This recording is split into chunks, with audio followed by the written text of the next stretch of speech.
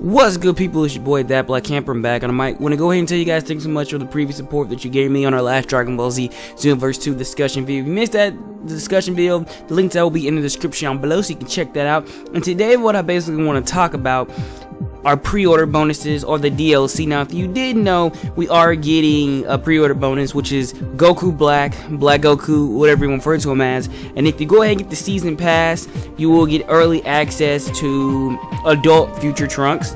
And he's going to be available in the game if you just play the game throughout, apparently. But you get early access to the character uh, if you get the season pass.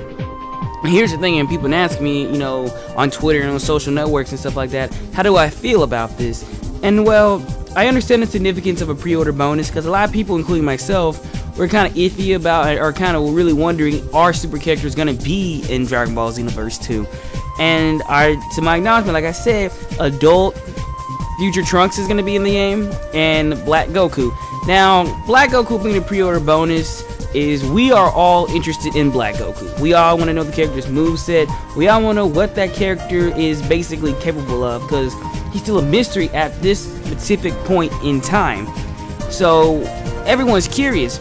And I do understand that simple things such as adding black like you some people who don't understand how stuff works, how copyright and and namesake stuff works, even if Black Goku may just be Goku's model with a long sleeve black shirt, change his gi up and etc. It may be simple like to just make Black Goku, but to have him in the game, you have to the, the Namco Bandai and stuff and, and you know and people who make Toei Animation, every you have to go through a bunch of loops and a bunch of of a lot of legal stuff to basically just to have that character in the game.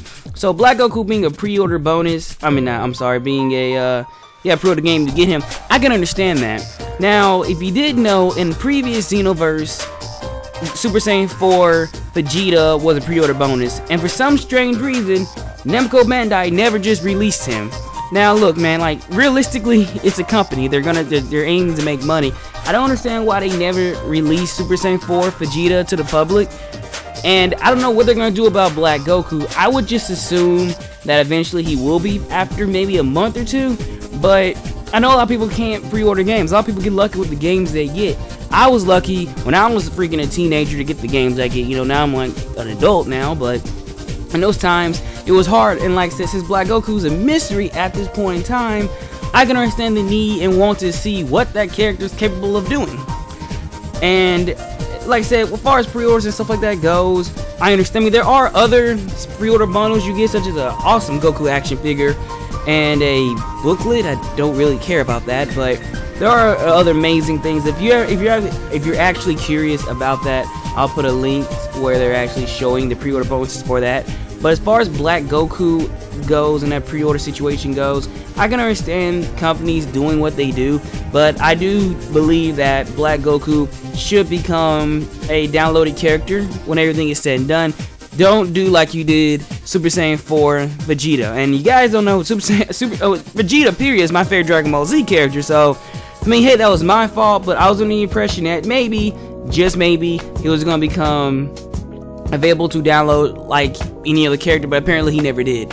And it kind of pissed me off a little bit, but you know, it is what it is, is what it ain't. And he was, you know, it was cool to have just Super Saiyan 4 Vegeta. You know, if you know, if you don't like GT, I guess you don't really care. I cared, but it is what it is.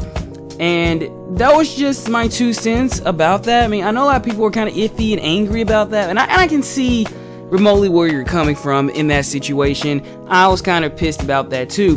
But as far as DLC goes, since these are super characters and since we don't know if any other super characters are going to be in this game, I'm hoping that there's going to be more super characters. Honest to God, I am. And if there isn't, Black Goku is kind of enough for me right now. Well, really, no, he, he's not. I, I, need all of them. I, I want all of them in there.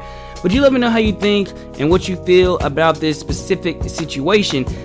Anyway, if you want to go ahead and subscribe to my channel so you can be notified when I do Dragon Ball Z, Z Xenoverse 2 discussions, they're usually up every Tuesday if you aren't aware. But if you want to go ahead and be notified or go ahead and just you just want to be known when I do them. Don't forget to subscribe to the channel if you want to help your boy out by hitting the like button. It helps out a tons. Great, you know, supports the series greatly. I love to hear what you guys think about this particular situation on this channel. Later, guys. Hope you have an amazing weekend, SpongeBob Day, whatever time you're doing this video. Stay blessed, stay cool. You know I love you. Have an amazing day. Layer the Banana Nation.